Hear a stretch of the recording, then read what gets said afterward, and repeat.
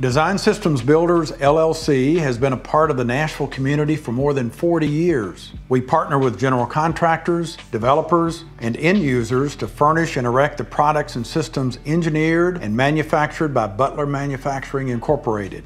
Recognized as Butler Manufacturing's premier building erector, Design Systems Builders safely erects an average of 2 million square feet of Butler products each year, placing us among the highest producers of Butler products in North America. Fall hazards are the number one potential for injury and death in steel erection. In order to stay safe, personal fall arrest systems, or PFAS, are required with 100% coverage. Safety nets are acceptable as well. Never work underneath loads or under swinging steel. Always remain mindful when handling steel, whether hoisting, landing, or placing. Be aware of all heavy equipment operation. This includes cranes, forklifts, aerial lifts, and scissor lifts.